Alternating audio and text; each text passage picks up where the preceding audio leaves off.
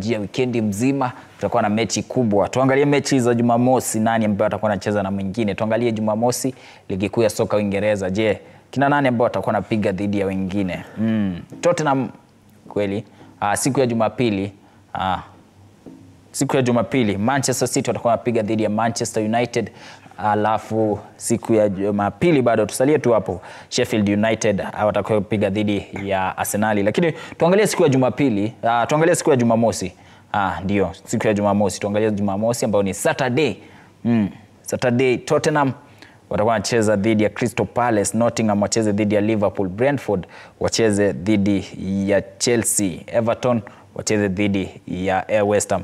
Tuzungumzie Manchester City sababu ni Jumapili. Tu, tuanzie na Jumapili, tuzungumzie mechi kubwa ambayo ni Manchester City dhidi ya Man United.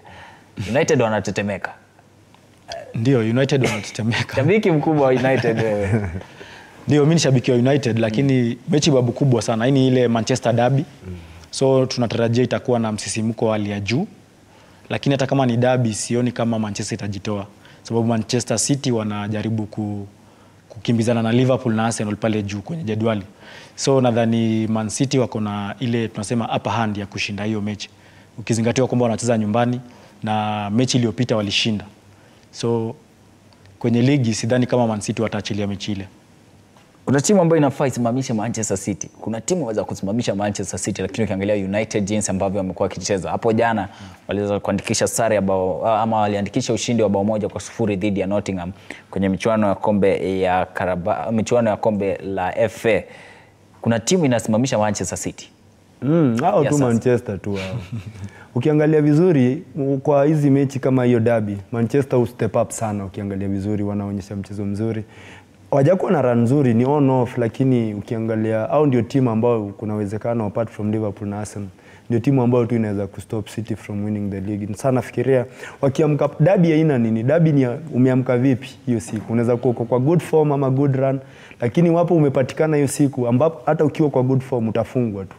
So dabi ina ni umeamka vipi hiyo siku, mguu wako vipi au bati yako vipi, lakini nafikiria Manchester wata watakuwa na game poa na wanaweza wako na high chance ya kustop City. Ni dabi na dabi ina go anyway, haimata we ni uko strong ama nini. Jose anacheka. Unajua mm. nyinyi shabiki wa Arsenal Jose. kama Manchester Jose na Kevo. Kwa hivyo Man eh, Man United tushikie. Ah, itawezekana, ni ukweli.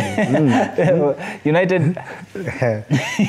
mi nitaongea kama football fan na pia nitaongea kama Arsenal fan. mm. Kama Arsenal fan naomba Manu tafadhali wajaribu kushika City, lakini pia ukiongea, ukiongea kama football Sema ukweli sasa. ukiangalia Sema ukweli. kama football fan mm. hii mechi yenyewe Man United wasipochunga wanaweza wanaweza toa mabao mengi, lakini pia wako na chance. Ukiangalia Bournemouth walichapwa moja peke yake. Kuna mechi ingine Man City walistruggle wakashinda moja peke yake. So the last, the last three games isipokuwa hii walicheza FA ndio walishinda uh, zaidi ya mabao matatu, wamekuwa wakistruggle kufunga pia. Kwa hivyo uh, hatuwezi uh, underestimate Manchester United mm. so tuko hapo kama football fan na pia kama Arsenal fan tunaomba mm United unasema mani tushikie ni tushikieni huyu. hata hatutaki mingi hata wadro tu hata draw peke yake tuko, tuko sawa Ah, kuna nani Evans Evans anasema Manu lazima wachapwe. Evans, hey, Evans anasema maniu lazima wachapwe yani. Umeweka lazima tu. Haya, anasema ni, ni Wesley.